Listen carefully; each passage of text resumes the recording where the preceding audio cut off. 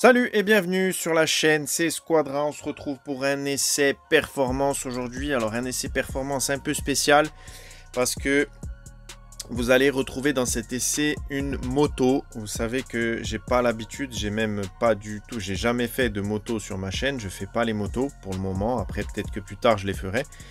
Mais pour le moment je ne fais pas les motos. Là je suis contraint de la faire. Euh, tout simplement parce que euh, dans la spécification HSW, Rockstar a mis une moto, celle-ci donc, la euh, Shitsu Akushu Drag.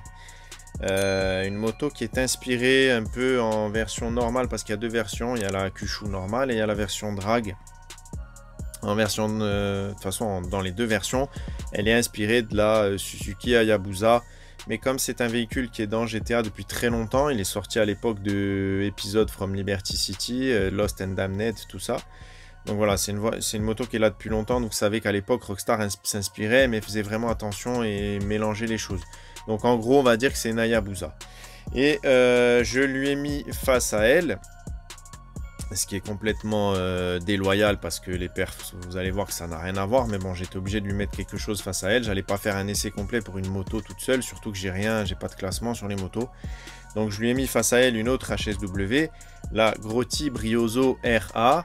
Alors elle c'est pareil, voiture ancienne qui est vraiment pas très bien faite. On est inspiré d'une Fiat 500 Abarth. Mais bon voilà, elle est moche. Moi, je la trouve moche. Ça n'a rien à voir. Enfin, ça ressemble un peu à une 500, mais bon, voilà. Et euh, cette voiture, ils ont décidé de la mettre aussi en HSW. Je comprends pas trop pourquoi. C'est un peu dommage. Ils auraient pu en mettre d'autres. Mais bon, voilà, c'est comme ça. Alors du coup, je vous fais un essai perf. On va voir juste les perfs de ces deux voitures. Moi, c'est pour pouvoir les mettre dans le tableau HSW. Pouvoir vous proposer le plus rapidement possible un comparatif de, toutes les, de tous les véhicules HSW. Et comme dans cette spécification, je l'ai dit au début, tout est mélangé. Vous avez des compacts, des sportifs, des grosses cylindrées, enfin de tout. Et là, ils ont rajouté une moto. Du coup, je vous mets euh, la moto à laisser sur le circuit. Comme ça, vous pouvez voir un peu le temps qu'elle fait. Et vous allez voir quel temps. Euh, c'est même dommage, je trouve. Enfin, on en parlera à la fin sur le classement. Mais bon, voilà, je vous laisse découvrir la vidéo. Donc cette fois-ci, il n'y aura pas de, de, meilleur de la catégorie, puisqu'il y a deux catégories mélangées. Euh, je vous mets plutôt au début la meilleure pour le moment en HSW. Voilà, que j'ai testé. Donc je ne les ai pas toutes essayées, il ne me reste pas beaucoup à faire. Je vous mets au début, voilà, la meilleure HSW. Et ensuite, on passe sur le circuit avec euh, la moto. Et après, on passe avec la euh, Briozo RA. À la fin, on se retrouve pour le classement. Voilà, la meilleure, donc la première de la catégorie, la Pegasi Inus Armée, redoutable. Hein. vous, avez, vous savez, j'ai fait les CPR déjà sur cette voiture. Vous pouvez le retrouver là, je vous mets le lien en haut. Donc une voiture redoutable en HSW qui était jusqu'à maintenant la première de cette, de cette spec HSW. Voiture très efficace, une Pegasi mais vraiment super performante.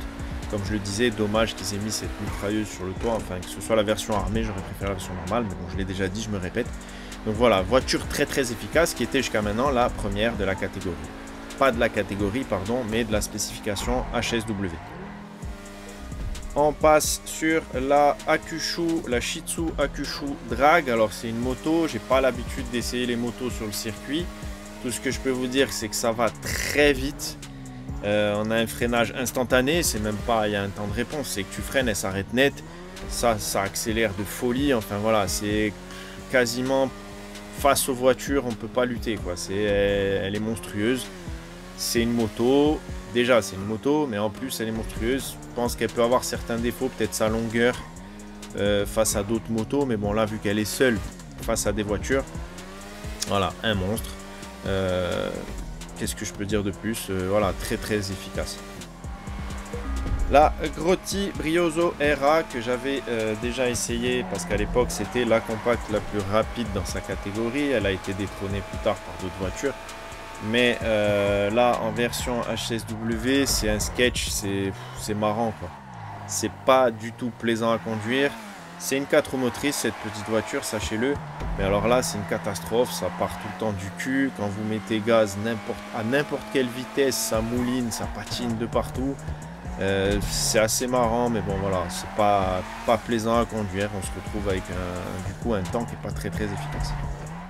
Voilà, on se retrouve donc sur le tableau top 10 de la spécification HSW. Et on voit que sans le faire exprès, j'ai fait les deux extrêmes de la catégorie. Donc euh, la Briozo RA qui se retrouve 11e, donc hors du top 10. Ça y est, j'ai mon top 10. Et la Shitsu Akushu Drag qui se retrouve la meilleure HSW. C'est sans surprise, quand vous avez vu sur le circuit, vous avez dû comprendre si vous avez un peu l'habitude de regarder mes vidéos. Voilà, c'est 47 euh, secondes. On est vraiment même très loin devant la Inus Armée qui était super efficace comme voiture. Donc moi, euh, cette catégorie, cette spécification HSW, je trouve ça dommage qu'ils aient mis euh, une moto aussi performante. Ils auraient ou alors toute seule quoi. Ou alors ils auraient pu mettre plusieurs motos. Voilà. Mais bon, après, on a les catégories. En HSW, on peut choisir. Hein. On peut enlever les motos, on peut mettre que certaines catégories. Donc ça va, heureusement. Mais si vous vous retrouvez en course où il y a toutes les HSW réunies, voilà, prenez tous la Hakushu Drag parce que ça sert à rien de prendre une voiture. Mais bon, voilà, comme je le dis, c'est dommage que ce soit la seule moto. J'espère qu'ils vont en rajouter d'autres. Mais bon, je m'attends à tout avec Rockstar. Euh, à savoir que sur le circuit, j'ai pas fait les cabrages. Déjà, c'est une moto qui cabre pas. Euh, j'ai essayé au maximum de me coucher euh, sur la moto dans les lignes droites, ça augmente un peu la Vmax, mais bon, rien de, bien particulier à, faire en plus, à part, ça, parce qu'elle peut pas se cabrer cette moto, donc vous savez que les motos, si on les cabre, elles vont plus vite. C'est pour ça que les motos, j'aime pas trop les tester, parce que ça dépend vraiment de, de beaucoup de paramètres. Après, euh, pour ce qui est de la Vmax, on arrive à une Vmax qui est, qui est aussi la meilleure de la, spécification. C'est logique, on est en 52. Euh, mais on est quand même pas trop loin des voitures les plus rapides de, en HSW. Donc ça va, ça se tient à peu près sur la Vmax. Mais bon, sur le circuit, c'est un massacre. Euh, pour la Briozo, comme je vous l'ai dit pendant l'essai, euh, c'est marrant à conduire. Ça, on a même un espèce d'effet de boost turbo à l'ancienne, c'est-à-dire quand vous mettez gaz, vous avez tout qui vient d'un coup, ça patine sur l'avant, ça s'ouvre à mort. Enfin voilà, c'est pas plaisant à conduire, c'est marrant, on va dire. Donc voilà pour cet essai performance. Merci de l'avoir regardé et on se dit à la prochaine. A plus. Ciao, ciao.